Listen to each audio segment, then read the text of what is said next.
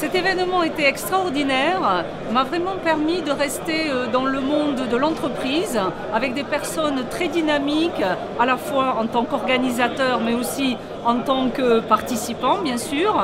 Moi-même je suis formatrice consultante dans le domaine de la communication et j'ai pu apprécier les pitchs des différents intervenants.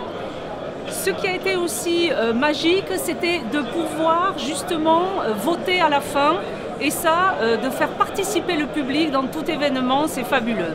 Bon, maintenant nous sommes passés au cocktail, donc je pense que je vais m'arrêter là pour aller continuer les festivités. Merci bien.